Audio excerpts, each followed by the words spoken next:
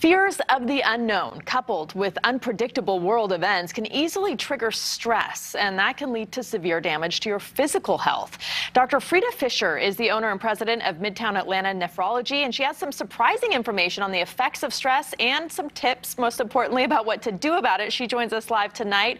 Uh, good evening. Thanks so much for being here. Um, so, you have five ways, and some of them are pretty surprising that stress affects our health. Let's go through them one by one. Let's start first with high blood pressure. High blood pressure, yes, which is a leading cause of heart disease, strokes, kidney disease, can be exacerbated by stress. What happens is the stress causes a release of hormones like cortisol, adrenaline. This causes blood vessels to tighten and can lead to high blood pressure. So, that is one way stress can affect your physical health. Okay, the second is headaches and low productivity. I recognize both, both of those things when you think about uh, all of the effects that stress have on you. Talk about that. Yes, when you experience stress, you can have a tightening or contraction of the muscles in your scalp, your upper back, your neck, and this can lead to tension headaches. And when you're trying to be productive in your daily life and in work and you have headaches, it decreases your productivity. So stress can lead to headaches and a decrease in productivity. And no also, also back pain and neck pain, right? Absolutely. All related? All related to the contraction of those muscles. Okay. The, the third one is weight gain the feared weight gain? Who feels like gaining weight? No one. But if you're stressed, you increase a hormone in your body called cortisol. Now, first off, being stressed often causes people to eat comfort foods. And what are those? Foods that are high in fats, in sugar, in carbs. And when you have this increased stress hormone of cortisol, it causes you to hold on to your fat, not in places where you may want to hold on to it, but you hold on to it in your face, your upper back, in your abdomen. And so this can happen from stress. You get cortisol, you hold on to weight, and you gain it in ways that may not be so attractive to you. It just gets better and better. Uh, the fourth one is, is a weakened immune system. That one's actually not surprising.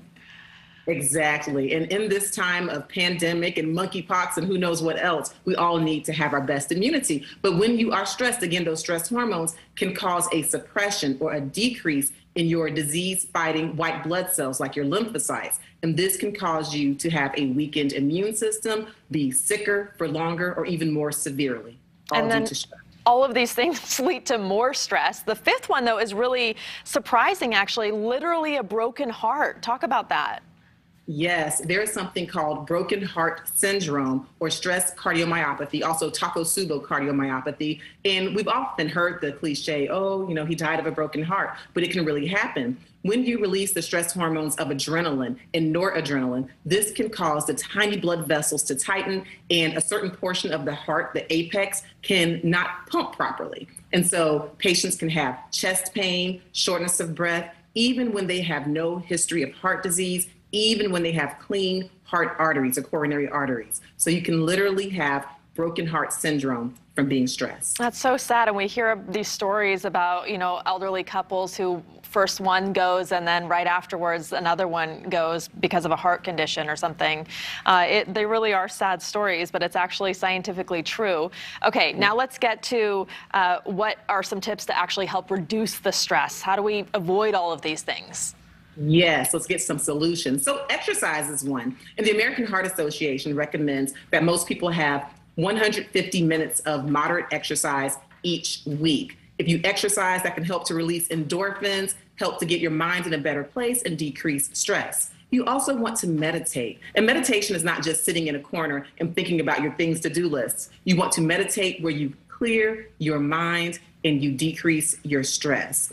And so, those are some of the ways also you want to have good time management. If you are places you get to places late that's stress. If you have too many things on your plate and you have not realistically divided them up that's stress. You want to divide your time properly and make sure that you get enough sleep. Sleep deprivation can lead to stress and so you want to get sleep. And most importantly learn how to tell people no so many people want to be superwoman or superman and be everything to everyone, but you cannot. And so you have to learn how to tell people no, how to delegate, and to ask for help if you need it. Really good information, really good tips. Some of them we don't even think about at all, and so relevant right now, probably to everyone who is watching. Dr. Frita Fisher, thank you so much for joining us tonight. Thank you.